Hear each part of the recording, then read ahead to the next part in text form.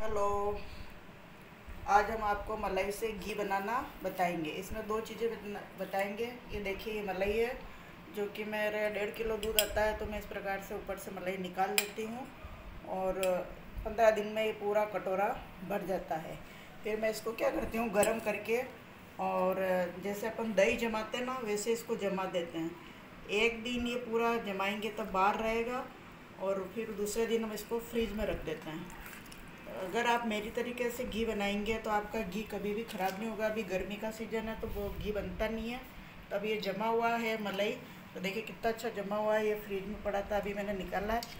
अब मैं इसको मिक्सर में डाल रही हूँ।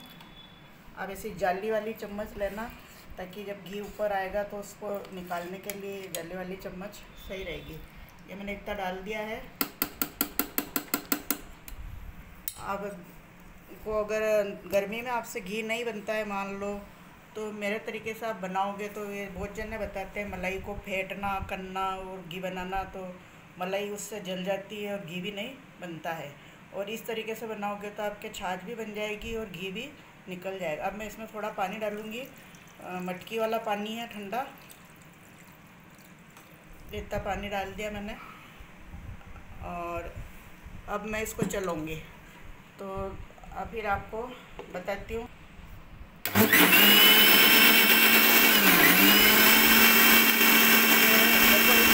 घूमना लग गया है यहाँ पे इसका मतलब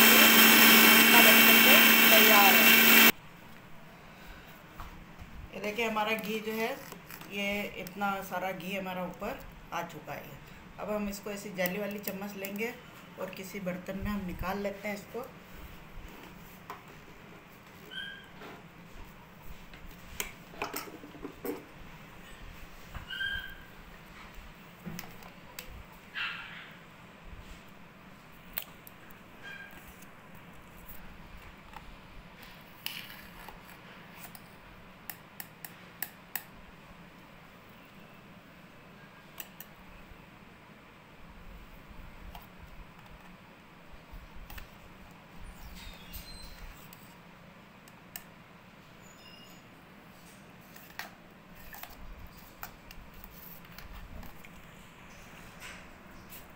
देखिए दूसरी बार का भी हमने निकाल लिया है। कितना अच्छा घी निकला है और बहुत ही आसान तरीके से बहुत सारा घी निकलेगा। आप जो वो दूसरे वीडियो में देख करके मलाई को फेंटना गरम करना उससे कोई घी ही नहीं निकलता है। सारी मलाई जल जाती है आपकी और वो, वो पागल बनाते हैं ऐसे। अगर आप इस तरीके से घी निकालोगे तो आपका मतलब आधा किलो घी मेरा डेढ़ किलो दूध लेती हूँ मैं उसमें मेरा पंद्रह दिन में आधा किलो घी निकल जाता है घर का। और ये मेरे गाय का दूध है। तो आपको अभी मैं घी गरम करके भी बताऊँगी। बिल्कुल पीले कलर का घी होगा एकदम। देशी घी एक हज़ार रुपये किलो से कम नहीं मिलता है मार्केट में। गाय का प्योर घी जो हज़ार रुपये किलो से कम नहीं मिलता है। ये देखिए हमारा घी बन गया है। इसमें मिक्सर में भी देख लीजिए, कुछ भी नहीं है। और इसमें हम थोड़ा सा पानी डाल करके इस घी के ऊपर डाल देंगे ठंडा पानी। ताकि इसकी स्माइल वगैरह निकल जाएगी, इसको हम धो लेते हैं। धोना बोलते हैं इसको घी को। अब इस पानी को हम यहाँ निकाल देते हैं कि इसी बर्तन में। इस पानी को तो फेंकना है। वैसे तो मलाई अगर आप सर्दी में घी बनाते हो तो का मतलब कड़वी नहीं होती है, पर मलाई की छाछ कड़वी हो जाती है। तो ये छाछ फेंकने में आती है। और सर्दी में बनाते हो तो कड़वी नहीं होती है तो आप छाछ का उपयोग कर सकते हो और गर्मी में अगर बनाते हो तो ज़्यादा दिन की मलई हो जाती है तो फिर वो कड़वी हो जाती है। तो देख लिया हमने घी को धो लिया है, इसकी सारा स्माइल वाला पानी निकल गया है। ये इतना सारा घी बना है, एक कटोरे के अंदर।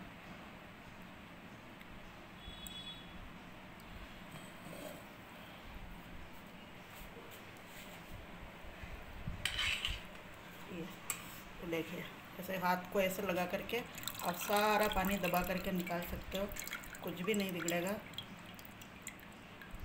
ये सारा पानी निकल गया।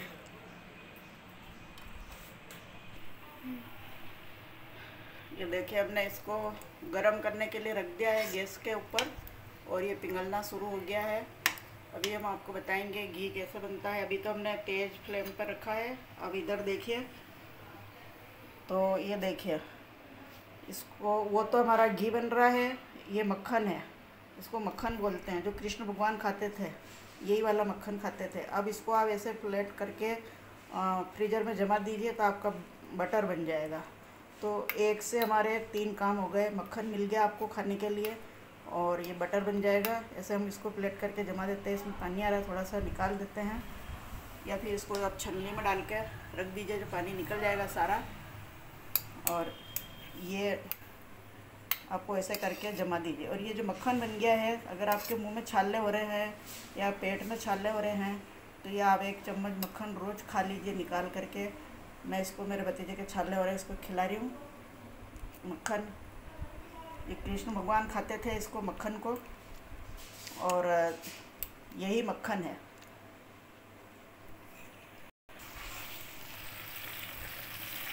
ये देखिए।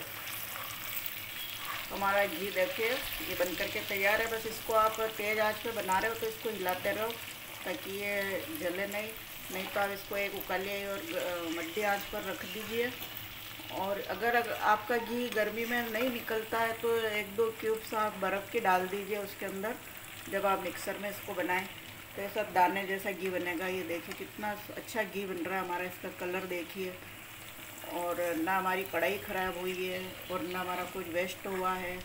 ये कम से कम आधा किलो घी के आसपास होगा ये। ये तो इसमें से हमने थोड़ा सा वो बटर निकाल के जमा दिया है। तो बटर भी आपको बाज़ार से लाने की ज़रूरत नहीं है।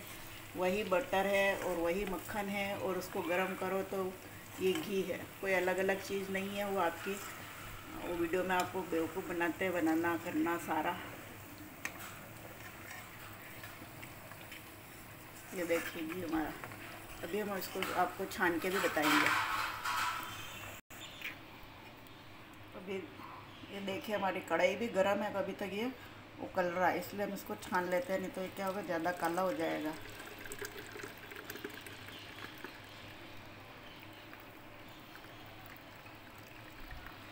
पूरे मकान में घी की खुशबू आ रही है, बहुत ही शुद्ध घी, एकदम। कोई मिलावट नहीं, कुछ भी नहीं देख। रही कितना सा कचरा निकला जरा सा कचरा निकला इसके अंदर। और ये कढ़ाई के अंदर आप गर्म पानी डाल, इसको पानी डाल के गर्म कर लीजिए। तो उकाली ले लीजिए अच्छी तरह से। पानी से ये कढ़ाई भी आपकी साफ़ हो जाएगी। कोई दिक्कत नहीं आएगी इसमें भी। मैं अभी इसमें पानी डाल के इसको रख दूँगी गैस के ऊपर। तो ये सारा मतलब गर्म होने के बाद में जो भी है, जो निकल जाएगा। ये मैंने तेज़ पे आपको दिखाने के लिए तेज़ गैस पे बनाया ताकि आप गैस को मीडियम कर दीजिए, बिल्कुल उकलता रहेगा।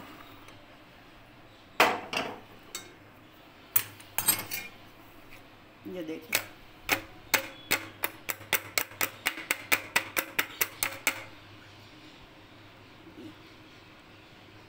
ये हमारा आधा किलो से भी ज़्यादा घी बनाया, देखिए अंदर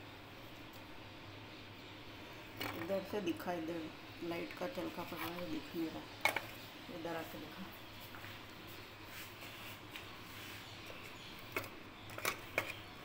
ये।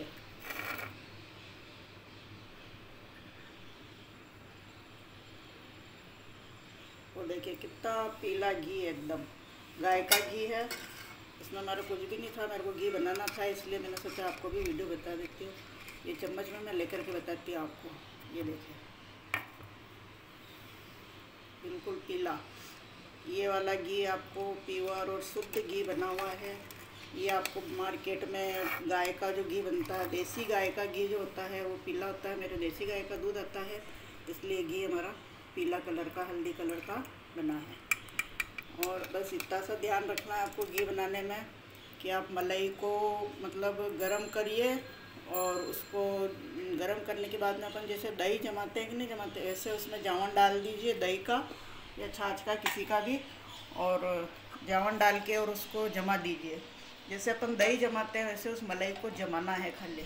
फिर एक दिन वो बाहर रखेंगे, जमने के बाद में उसको वापस फ्रिज के अंदर रख दीजिए। फिर वो फ्रिज में पड़ी रहेगी, एक दिन में बनाओ, दो दिन में बनाओ, फिर आप ऐसे मिक्सर में उसको घी को निकाल लीजिए। तो आपका घी भी ऐसा ही बनेगा। वैसे दो चार ट्रिप्स की बातें आपको ध्यान रखनी और मान लो गर्मी में आपका फिर भी घी नहीं निकल रहा है तो दो चार क्यूब उसके अंदर बर्फ़ की डाल देना। तो बहुत दानेदार घी उसका बन जाएगा। और आपका कुछ भी मटेरियल वेस्ट नहीं जाएगा। ये देखिए, इसमें से हमारी ये छाछ भी निकली है। तो अभी तो ये क्या है, गर्मी की, मलाई की छाछ है तो ये कड़वी हो जाती है, जो उपयोग में नहीं आती है। इसको हम गाय को पिला देंगे। और सर्दी में तो ये छाछ हमारे उपयोग में ले सकते हो आप कड़वी नहीं होती है सर्दी के अंदर। Take care bye